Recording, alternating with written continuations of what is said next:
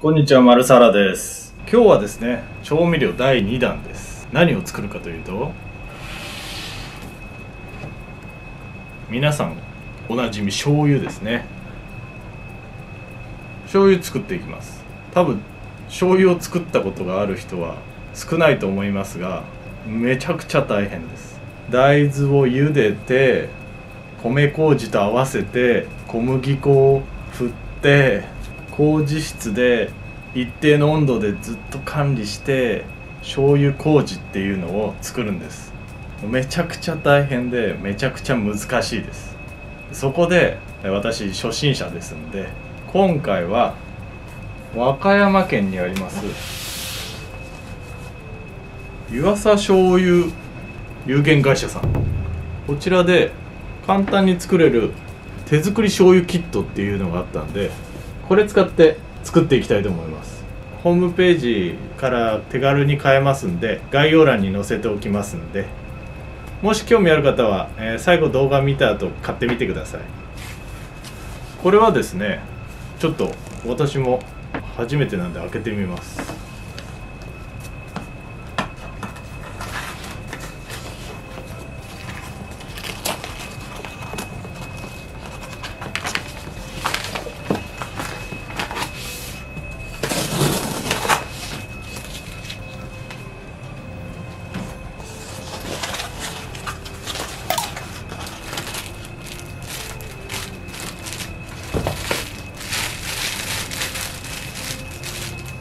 これが海水から作った天然塩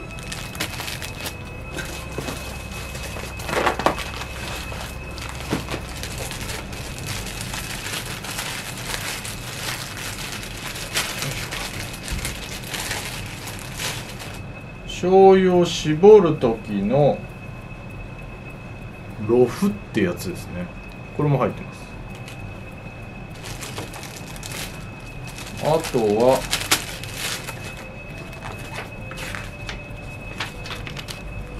説明書。かわいい。絵これが一番作るのが大変な醤油麹ですね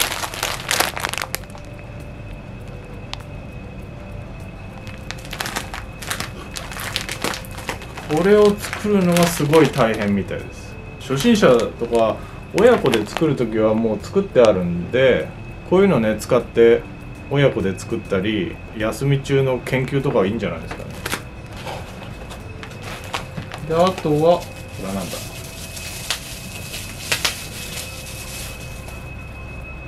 これはあれですね。湯浅醤油さんの商品ですねちっちゃいミニボトルの醤油が1本ついてきます。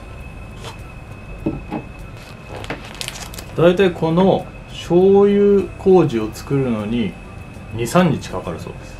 これが大変みたいです。ねなので最初の工程ほとんどできてます。これ使って作っていきたいと思います。これね説明書があるんでこれ見ますね、えーまず大きなペットボトル2リットルを使います。はいこれ。この麹を塊がないようにまず手を手で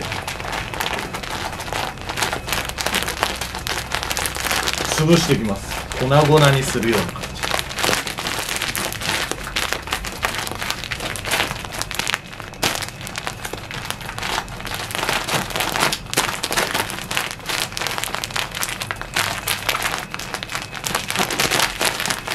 感じだいい感じ。そしたらこのペットボトルの中に入れていきます。大体10ヶ月ぐらい保存しないといけないんでペットボトルもちょっと固めの方がいいと思います。水とか入ってるペラペラのこの潰しやすいのもあるんですけどお醤油作りの時はちょっと固めのやつ。セブンイレブンのあのオリジナルブレンオリジナルブランドとか結構硬いのでそういうの使ってみてください。この中に上後を使ってこれを入れます。うち上後がないのでブレンダー乗せてやってます。すみません。で中にね醤油麹入れていきます。結構麹粒が大きいんで箸とかでこんな感じで上後でも詰まると思うんでやってみてください。全部入りました。こんな感じですね。結構いっぱいあります。次に中に入れる水。塩水を作ります。この入ってた塩に1リットルの水で溶かして先ほどの麹を入れたペットボトルの中に入れるそうです。塩水作ってきます。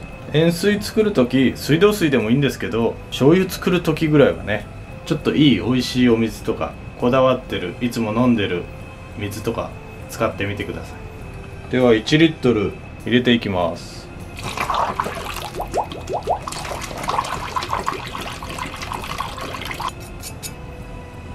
はい入れ終わりました。こんな感じです。最後混ぜて終わりですね。混ぜます。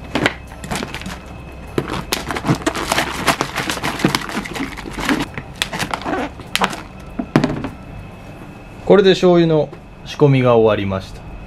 ここから醤油は半年以上かかって発酵したり分解したり熟成してやっと醤油になる。ということです。発酵して空気を吸うんでガスを出すみたいなんです。なので時々キャップを外して空気を入れ替える必要があります。